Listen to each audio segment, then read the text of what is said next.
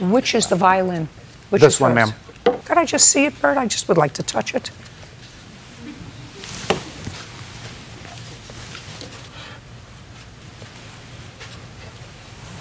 Okay.